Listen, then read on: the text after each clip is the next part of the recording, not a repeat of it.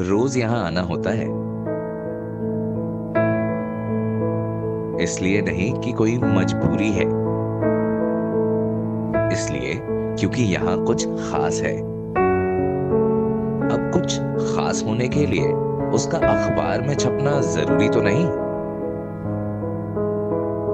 अपनी ही तो संस्कृति है। अनेक खासियत है इसमें।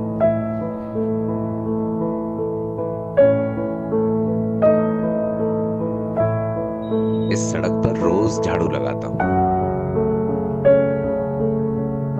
गंदगी पूरी साफ़ हो। तभी सड़क अच्छी लगती है।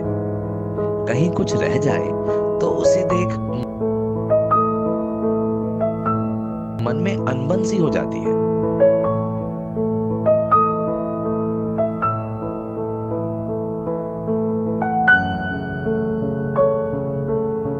हमारी संस्कृति पर भी ऐसे ही धूल जमी है। अधूरी दिखती है। पूरा साफ़ करो तो सही। देखना क्या चमक आएगी।